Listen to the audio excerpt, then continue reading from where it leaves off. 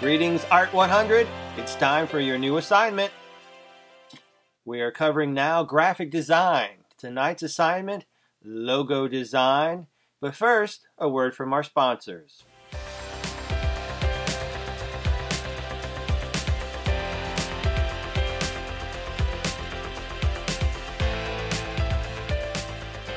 All right, we're back, and here's your assignment.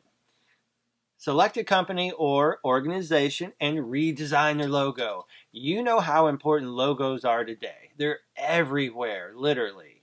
I can't turn around without seeing a Facebook logo somewhere. Free publicity, that's what I call it. But so what you need to do is choose a company or organization and redesign their logo. Think about creating a new logo. How would you change it? How do you think you could make it better? It can't look like the old logo. You got to find a new angle and play off on that.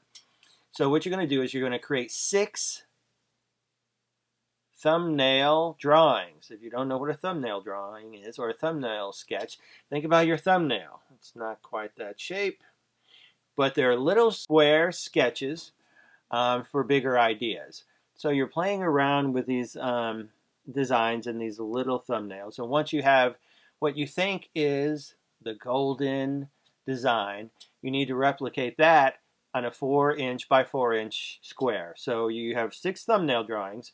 You pick your favorite and then draw it on the 4 by 4 The last step, of course, in your design is submit your finished assignment, thumbnails and drawings via the journal. So make sure you download the assignment and follow the steps and take a look at this project I did for a little company called Buckhorn Children and Family Services.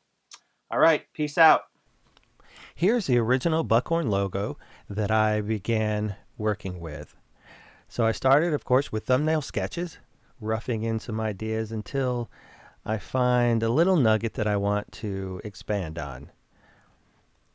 And I've done that here cha I'll change it a little bit, but I have a basic idea. So I create a vector logo, and here's the unveiling of that logo. I have a bee representing buckhorn and the sky, and I want to show new life. So I have the sun, the mountains, a tree, a bird. New fresh life in buckhorn. I also created some alternative logos that they can use throughout the season. So this is a new Buckhorn logo. You can do some research on some other great logo designers by looking up these names. Alright, talk to you later.